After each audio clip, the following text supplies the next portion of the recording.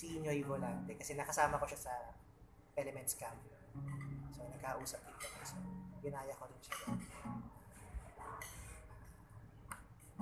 Akin ka na lang ha Sino naman ha Please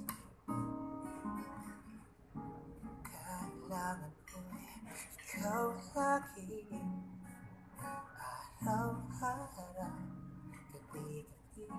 Ang style lang naman niya kasi kailangan mahangin ka na po. Si, ang isa kong ginagaya si si Sir. Pero hindi naman masyadong gaya-gaya. Konti lang. Pag napagdinripan lang namin sa bar, ginagawa siya. I think I'm falling, falling in love with you. And I don't, I don't afraid to know but I say it anyway. I think I'm falling. Yeah. So okay